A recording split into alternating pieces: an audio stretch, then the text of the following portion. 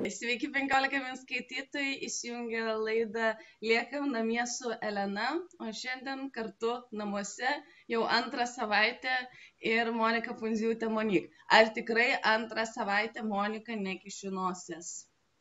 Aš nekišiu. Aš einu pasivaikščioti, kad neprarasčiau uh, šitą sveiko proto. Buvau vieną dieną pasilikusi visą dieną namie, tai taip įsiskudėjo galva, kad tiesiog mhm. supratau, kad be grino oro žmogus negali gyventi. Tai... Kaip tu visą šitą laikotarpį atrodai nuostabiai, tokia tikrai labai labai pasilsėjų, švytinti. Ar tai ir viduje, ar švytinti? Jo, yra, yra iš tikrųjų šitas laikotarpis man, net nežinau, kiek iš tikrųjų jo reikėjo man, kiek, neįsivaizduoju, kiek reikėjo visiems kitiem, bet manau, kad tikrai būnam užspausti to viso bėgimo ir pamirštam, kaip yra faina savo skirti laiko. Ar iš tikrųjų, ar pastarėjai metai tavo gyvenime irgi buvo toksai bėgimas, lėkimas, negalėjimas net sekundę sustoti, pasvarsyti, ar, ar taip darau, ar kitaip reikėtų daryti, ar viskas buvo toks bėgimas? Um, viskas buvo bėgime, tačiau labai atrodo, kad tikrai net neatrodė, taip ir buvo, kad mėgavausi tikrai vis, visko, ką darau ir dabar labai pasigendu to paprasto, nežinau, sustikimo su gerbėjais koncerte. Mano koncertas yra tai dabar būtų už mėnesio lygiai ir kai suprantu, jog nebus, man plyšta širdis, tiesiog net žodžio prasme.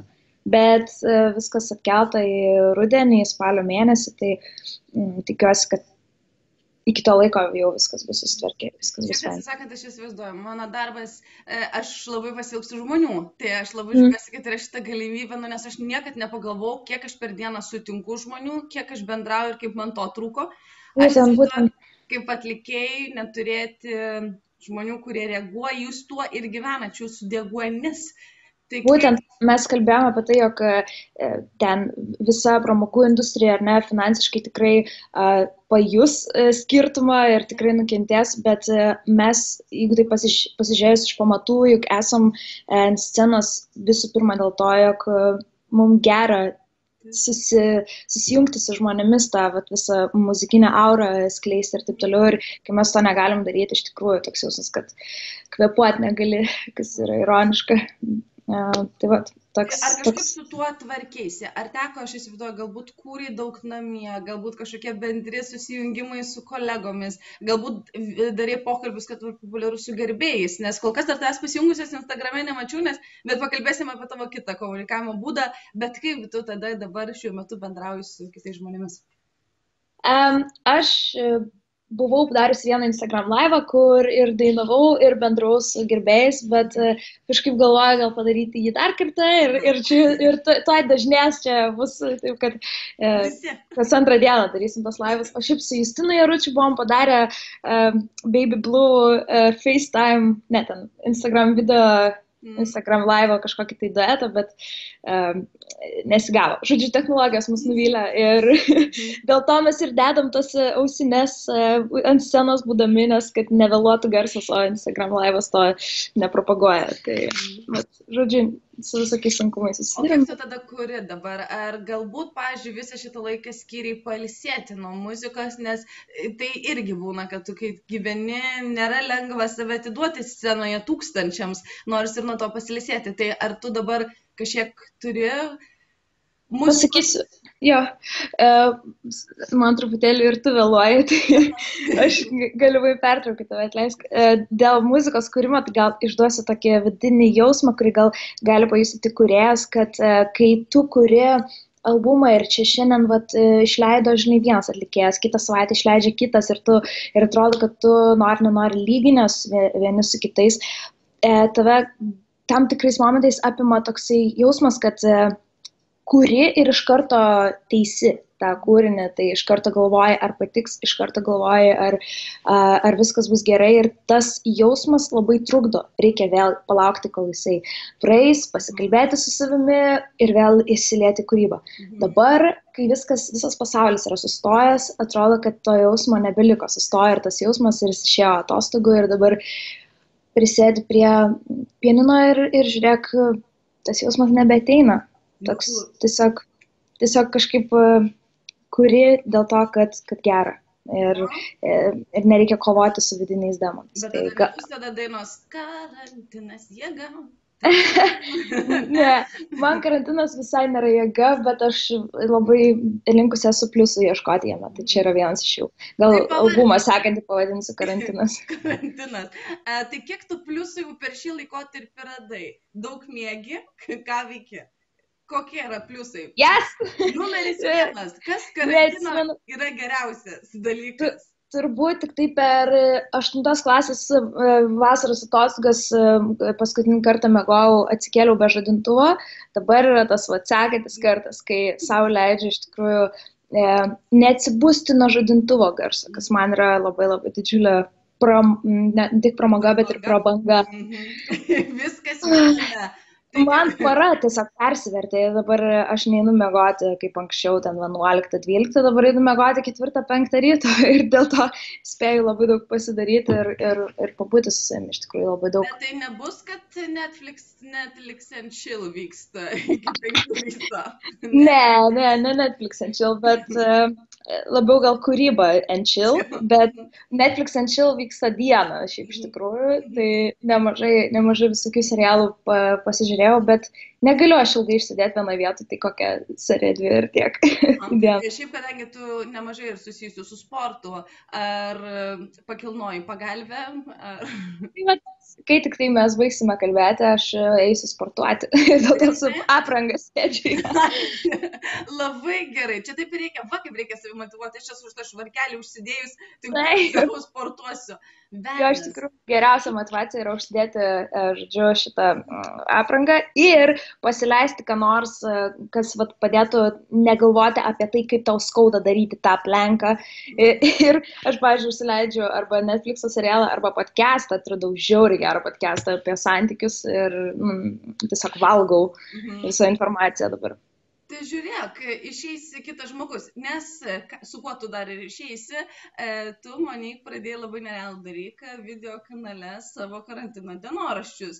E, labai asocijuosi su tom akimirkom, kai tu darai, a, nes lengvas išprotėjimas vyksta kartais mums visiems. E, tai kaip gimė šitą idėją, kad tu nusprendai, ar tas ir nori su kažkuo pabendrauti, ar galvoji, kad ir kitiems norėjo pirma mintis, kad nori ir su kitais, kitiems pagelbėti šiuo metu. Aš pastebėjau, kad mane įkvėpia žmonės, kuriuos aš vat, žiūriu Instagra Instagram'e arba YouTube kanaluose, sakau, kurie rodo, ką veikia. Ir pamaniau, kad jeigu aš galėčiau būti kažkam įkvėpimas, kodėl ne? Ir dėl to pasirašiau sąrašą, ką aš veikiu per dienas, ką dar norėčiau nuveikti ir, ir padarau video iš to. Tai mhm. tikiuosi, kad žmonėm nors vienam žmogui padėjo. Jisai. Jeigu ne, tai bent prajuokino. Jo, kiek tu jų ruošiesi kurti? Ar kursi iki paskutiniosios, ar baigsis karantinas ir dar kursi ir tiesiog toliau jau, jau išėjus iš karantino? Šiaip geras klausimas, net pati savo jį neatsakiau dar, bet kažkaip įkėlusi supratau, kad gal visai čia ir įsipareigojau, netgi pavadindama karantino dienoraštis, tam tikrą prasme jau suvokiu, kad jis tarsi tęsiasi toliau. Tai um, žiūrėsim, dabar tikrai to tokio ribotumo veiklos yra, tai yra ir daugiau laiko ir man labai labai patinka montuoti video, tai aš tiesiog džiaugsiuosi, jeigu žmonėm jų reikės. Tikrai taip, aš manau, kad čia yra būtina tą daryti, bet mes visų, mes kalbėjome apie dešimt dalykų. Ar yra kažkas, ką būdama vat, namie visai kitaip atradai? Gal pavyzdžiui, nežinau, pradėjai nagus darytis pati, Naugia nagai. Uh, jo, baisu čia yra. Net nerodyti iš arčiau. Pavaikštau, matai, va, namie. Jo, nes aš e, plaukus nusidažiau dieną iki karantino. Eik, savo, aš nusėmiau priaugintus plaukus dieną iki karantino beveik. Well played, well played. E, ar kažkas yra, ar namus jau atradai kitomis akimis? Ar supratai, kiek čia yra daugybė veiklos, ar galvoji, Iš... Man toks jausmas, kad, atsiprašau, vėl tą pertrauką, man atrodo, kad tu baigi sakinį. Aš baigiu, bet dar noriu pakalbėti jau. man atrodo, kad kiekvieną dieną po centimetrą sienos traukiasi ir kad tuoj jau geriau greičiau baigtųsi tas karantinas, tas virusas uh, išnyktų ir, ir, ir, ir užsibaigtų ir tada galėčiau išeiti ilgesniam laikui į namus. Kas yra dar viena žiauri bėda, tai kad šalituvas yra žiauri arti. ir saldumynų spintelė labai arti. ir kai tu sėdi davė, atrodo, kad tiesiog dažniau norisi jį praverti. O anksčiau išeini iš namų, grįžti žiauriai vėlai tik į lovą ir, ir pavalgyti nėra kada. Dabar per daug laiko. Per daug laiko. Jo. Ar bijai, kad kažkas pasikeis? Nes aš įsivaizduoju, kad mes gal kitaip iš šito viso laikotarpio vertinsim dalykus. Ar kažkas, aš jau net, pažiūrėjau, girdžiu, kad žmonės kalba, kad jau patys pasikeitė. E, Viena mergina irgi atlikėja pasakojo, e, kad jinai suprato, kad nebebus Instagram'e, nesuprato, kad pasaulis žmonės keičiasi karantine. Ar jau, ar jau pamatėte pokyčių savo srityje, ar iš, išeisite visai kitas žmogus? Um, iš tikrųjų, šitas laikas man buvo asmeniškai laikas man, kur aš esu užsidariusi su savimi ir savo mintimis, savo galvoj. Tikrai labai daug atsakiau dalykų asmeninių, nesusijusių su nei darbais, nei niekuo, nes ten aš esu užtikrinta. Savo asmeniniam gyvenime esu tikrai labai uh, visokia kokia uh, ames, kaip sako. ir, ir, ir šiek tiek dėl to atsirado ir daugiau temų, apie ką rašyti dainas ir, ir tai ta, tarsi kažkokia sąjunga įvyko tarp manęs ir manęs. tai nežinau, aš kažkaip Instagramą, beje, pastebėjau irgi, kad labai labai mm, padidėjo visas skrolinimas ir, ir, ir tarsi pastebėjau ir žmonės, kurie gal šiek tiek neįkvepia ir, ir, ir liūdina netgi, kai žiūri jos nuolatos ekrane, tai tam tikri veiksmai irgi yra labai reikalingi. Bet grįžtame prie tos temos. Iš tikrųjų, e, gilinimas į save yra smagus dalykas. Ar taip anksčiau buvo, nes gilintis į save kartais reikia tam tikros ir drąsos, ir ryšto, nes jeigu eisi jau tuo keliu, nežinia, kas sužinosi. Tai ar tai, vat, kad turi tą galimybę dabar būti užsidarius ir, nes kaip suprantu, tu net ir specialią literatūrą ir tavo žinios nėra šiaip kažkas romantinės komedijos žiūrėjimas, tu viską gilinėsi labai taip, net ir teoriškai. Taip, aš e, pradėjau skaityti dar vieną naują knygą psichologinę apie, apie visą šitą uh, mind game su savimi ir kad jo, tai labai, labai yra lengva pastebėti savyje kažkokią problemą ar ne, kad ir, tarkim, lyginėsi su kitais ir kaip tave pastebėk, kaip tave tai veikia kiekvienoje dienoje, kaip tu reaguoji, ant kiek žmonių tu pyksti iš tikrųjų, nes pyksti ant savęs. Ir, ir tai vat, visi šitie klausimai man tiesiog yra akis atveriantis dalykai, kurie manau, kad buvo labai labai reikalingi. Tik tai lengva nuo jų bėgti, kai tau, Andi, čia turiu susitikimą, čia dabar turėsiu vėliau šitą darbą pasiryti, dabar nėra laiko, kada čia save gilintis, žodžiu, aš pabėgsiu nuo to, o tai ta vis tiek vejasi ir, ir tokia kaip uodega tempėsi. Wow. Iš paskos tai. Šiaip labai džiugu girdėti, kokiame lygyje jau yra draugystė su savimi? Ar jau pažengusi, ar dar pradžioje? Ne, aš manau, kad jau pažengusi. A, tikrai nemaniau, kad galiu būti savo tokia a, gera draugė ir taip kažkaip save a, labai labai retai, kada save savo girdavau, daug, daug dažniau a, kažkaip teisdavau ir, ir, ir kažkokius minusus a, pabrėždavau. Dabar kažkaip stengiuosi visą tai daug labiau pa, iškelti į kitą pusę ir pabandyti, kas vat, būtų, jeigu pasakyčiau, kad, hei, aš gražiai ir be makiažo savo. Žinai, ir, ir labai labai fainai, kai atsikeli ir neatsikeli su gera nuotika dėl savęs. Tai yra labai nuostabus dalykas. Labai labai aišku, gaila, kad pasaulis tik tokiais būdais mums kartais parodo, kaip reikia save mylėti ir kaip reikia rūpintis kitais, nes toks yra stiprus signalas tai, kas vyksta. Labai labai džiugu girdėti, kad tavyje tokia peršinė, tikiuosi, kad įkvėps ir kitus, kurie žiūrės šitą pokalbį. Bet viskas, keli paskutiniai klausimai. Bet gal gali tada uh, išduoti, kas yra tavo guilty pleasure? Nu kažkas turi būti. Ar ten tas saldainio, ar, ar yra dar ir traškučių kažkur padėta? Ar yra kažkas kita, uh, kas yra tavo va, toksai guilty pleasure? Jeigu va dabar galėtum pizzą, aš galiu vardinti toliau. Iš maisto tai tikrai, tikrai pica e, yra mano guilty pleasure, bet čia toks labai standartinis dalykas.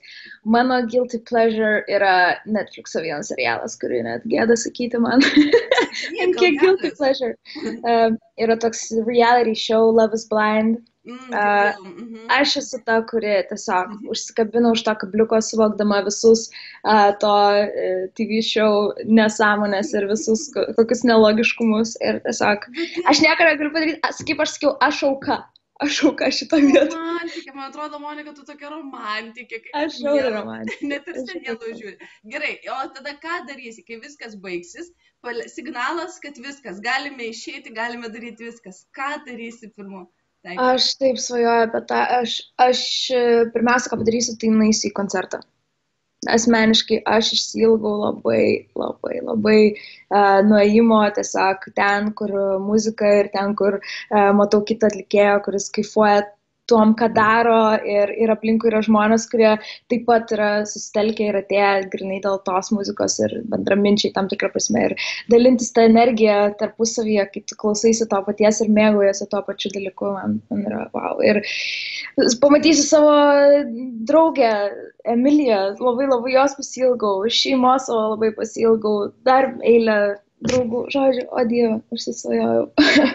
aš labai tik tai reikia palinkėti žmonėms, kad aš labai tikiuosi, kad jie iš viso šitos situacijos išeis bent šiek tiek labiau save pažinę, atradę ir aš manau, kad vien dėl to tada vertas tave stebėti YouTube kanale, netikėtai platformai, bet atradai, tai jau ir labai džiugu tave tą matyti.